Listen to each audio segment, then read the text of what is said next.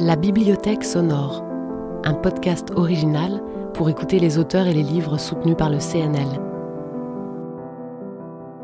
Je suis Jean-Philippe Toussaint. Je suis écrivain et cinéaste, et vous allez entendre maintenant quelque chose que vous n'avez jamais entendu. Jamais. C'est la première fois que je lis un extrait de mon roman Les émotions, paru en septembre 2020 aux éditions de Minuit. Jusqu'à quel point peut-on oublier quelque chose qui nous est arrivé? Je ne me serais peut-être jamais posé la question si je n'avais retrouvé une photo compromettante dans mon téléphone. C'était dans un Thalys, j'avais assisté à une réunion de prospective à Paris dans la matinée, et je revenais à Bruxelles le soir même. J'avais fait l'aller-retour dans la journée. J'étais fatigué, la journée avait été longue. Je me laissais bercer par le train. Calé au fond de mon siège, je faisais défiler distraitement du doigt les images de mon téléphone. Quand je suis tombé par hasard sur la photo d'une jeune femme à moitié dénudée. La photo, presque floue, avait été prise l'été précédent dans une chambre d'hôtel pendant que je participais à une retraite de prospective à Hartwell House, près de Londres. Je ne me souvenais plus des circonstances exactes dans lesquelles la photo avait été prise.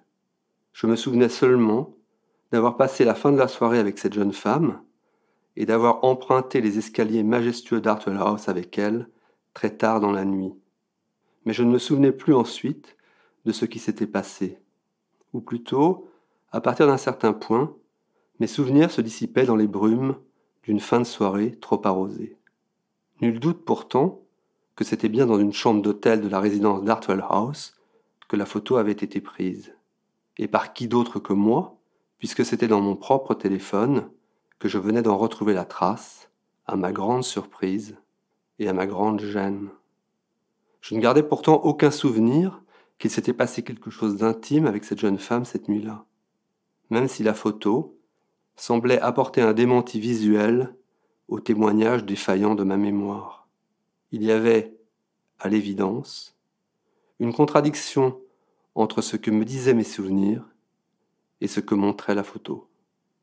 Depuis plusieurs années, mon ami et collègue Peter Atkins organisait les rencontres d'Artwell House, des retraites de prospective où les participants, responsables politiques, analystes et experts internationaux, se réunissent pendant une semaine dans le cadre somptueux du château d'Artwell pour imaginer l'avenir ensemble. L'avenir, pour moi, qui le côtoyait au quotidien dans le cadre de mes activités à la Commission européenne, était une notion parfaitement abstraite que j'étais capable de modéliser et de faire parler avec des chiffres. Mais si dans ma vie professionnelle, j'avais une maîtrise incontestable de l'avenir, je me rendais compte que depuis quelque temps, je ne maîtrisais plus rien dans ma vie privée. Mon mariage avec Diane était en train de sombrer, nous étions entrés dans une crise conjugale dont je ne voyais plus l'issue. L'avenir, pour moi, était devenu irrémédiablement opaque.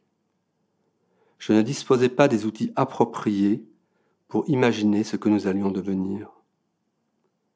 Moi qui me pensais si performant dans l'exercice de mes fonctions, j'étais complètement démuni dans la conduite de mon histoire d'amour avec Diane.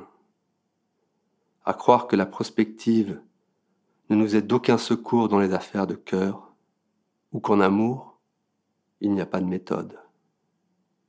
Lorsque dans les années 1990, j'ai commencé à m'intéresser de manière professionnelle à l'avenir, j'ai très vite compris qu'il y avait une différence abyssale entre deux notions qui peuvent paraître voisines, voire similaires, mais qui ne sont pas de même nature, l'avenir public et l'avenir privé.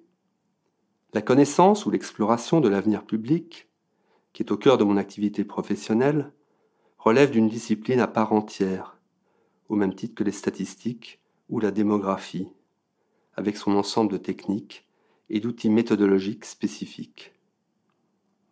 Lorsqu'elle est pratiquée dans les règles de l'art, la prospective permet de repérer les principales métamorphoses qui couvent à bas bruit avant qu'elles ne s'expriment au grand jour ce qui nous permet d'anticiper les grandes évolutions à venir.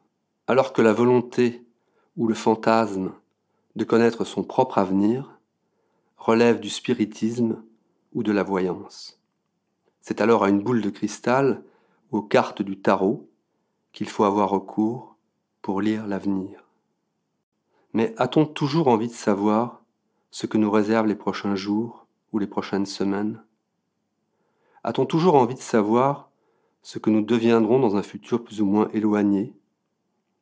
Quand on sait que ce qui peut nous arriver de plus stupéfiant le matin quand on se lève, c'est d'apprendre qu'on va mourir dans la journée, ou qu'on va vivre une nouvelle aventure amoureuse ou sexuelle dans les heures qui viennent. Le sexe et la mort, rien ne peut nous émouvoir davantage quand il s'agit de nous-mêmes. C'est alors à une boule de cristal ou aux cartes du tarot qu'il faut avoir recours pour lire l'avenir. Pour découvrir la suite, rendez-vous en librairie. Ce podcast a été enregistré au CNL et mixé par Volume Sonore.